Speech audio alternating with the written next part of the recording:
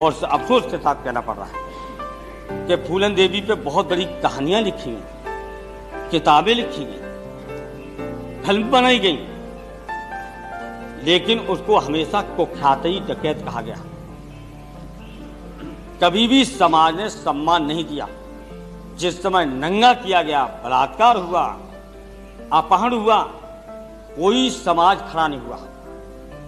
और जब बिना मुकदमा तय किए, बिना सजा तय किए ग्यारह साल जेल में रखा तो हमने जब रिहा कर दिया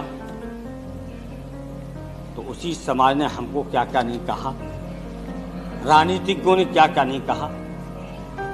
और जब इससे बड़े कुख्यात डकैत तैतीस साल के अंदर ही नाम नहीं लूँगा, छोड़ दिए गए। और किन लोगों ने छोड़ा है? और किन लोगों ने सरेंडर करवाया है?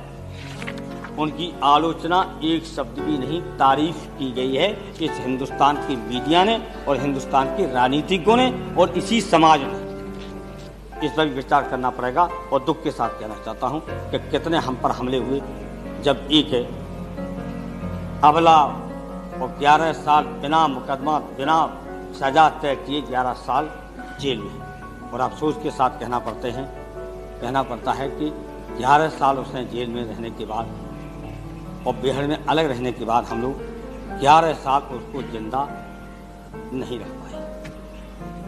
और जहाँ स्वच्छ स्थान, वहाँ नहीं रख पाए। आज़ादी के बाद दो सवाल ऐसे अध्यक्ष ये हैं जो विचारी हैं गंभीरता से, पूरे सदन से, पूरे नेताओं से मैं कहना चाहता हूँ।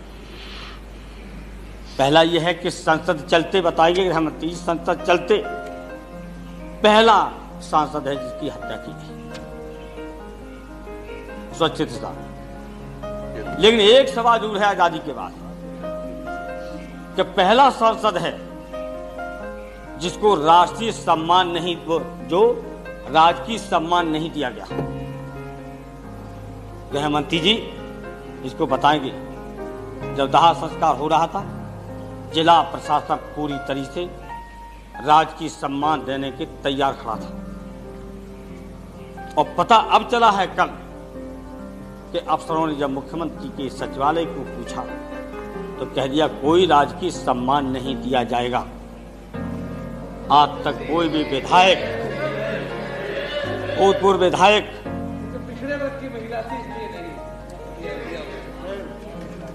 ये मानसिकता जो भी हो बताएँगे गृहमंत्री जी। या आपकी राज के अलावा कहीं हिंदुस्तान में ऐसा हुआ है? भूतपूर्व विधायक भूतपूर्व मंत्री, वर्तमान विधायक जिनको राजकीय सम्मान के साथ हमने स्वयं